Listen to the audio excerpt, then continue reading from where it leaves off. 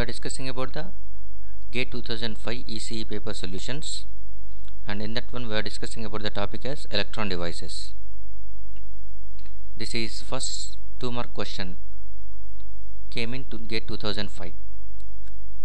A silicon sample A is doped with 10 power 18 atoms per centimeter cube of boron. Another sample B of identical dimensions is doped with 10 power 18 atoms of centimeter cube of phosphorus. The ratio of electron to hole mobility is 3. The ratio of conductivity of sample A to B is A 3, B 1 by 3, C 2 by 3, D 3 by 2.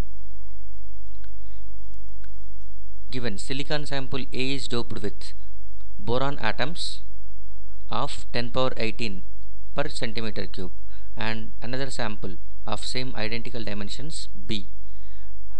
Doped with phosphorus atoms with same 10 power 18 atoms per centimeter cube and given electron to hole mobility mu n by mu p is 3 then we need to calculate the ratio of conductivity of sample A to sample B that is sigma A by sigma B. The correct answer for this one is B. 1 by 3 is the answer. We will see the details given that one. Electron to hole mobility ratio is 3 that is mu n by mu p is 3 and sample A is given as silicon and after doping with boron it will become p type so sample A will become p type with acceptor concentration as 10 power 18 boron, uh, boron atoms per centimeter cube.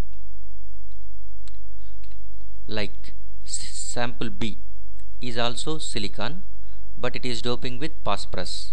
So after doping with phosphorus it will become n type so sample b will become n type with donor concentration as 10 power 18 donors per centimeter cube.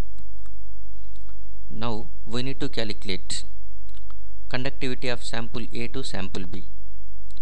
Ratio of conductivity of sample a to sample b is sigma a by sigma b that is sigma p by sigma n because sample A is turning towards p type sample B turning towards n type. So sigma p by sigma n which is approximately equal to Na into Q into mu p Nd into Q into mu n for sigma n.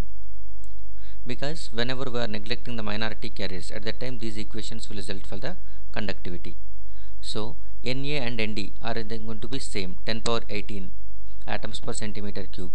Charge of Q is same and here the conductivity is directly proportional to mu p by mu n. So mu p by mu n is nothing but 1 by 3 since mu n by mu p is given as 3. So correct answer for the given question is 1 by 3. Thank you.